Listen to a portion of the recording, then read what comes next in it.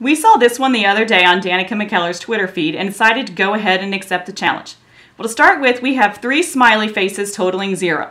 Well, anytime I add any object together and to come out with a total of zero, each of these must not be worth anything. If we wanted to check, we could use an S for a smiley face to stand for each of these, turn it into an equation, 3S equals zero.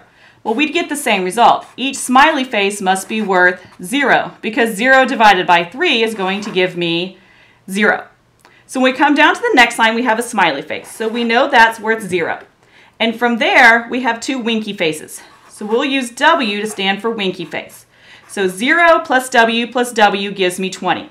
Well, we know adding 0 doesn't change the value, so we can go ahead and just knock that off. So that means our two winky faces together are worth a total of 20. Solving that equation, I can divide each side by 2, and when I do, each winky face is going to be worth 10. So when we come down to our next line, our winky face is going to be worth 10. And then we have two more emoji faces with heart eyes. So we'll use an H to stand for hearts on those. So 10 plus two hearts gives me a total of 18. So now we'll solve this equation starting by subtracting 10 from each side.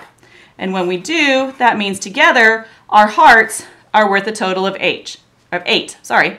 So divide each side by 2. And when we do, each heart comes out to be worth 4.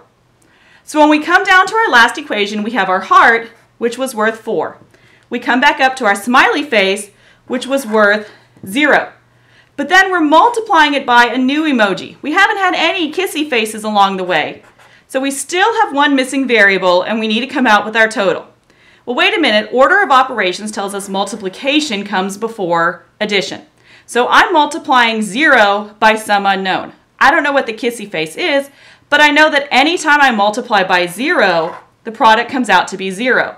So really, in this last row, I'm solving 4 plus 0. So that means our unknown total is simply 4.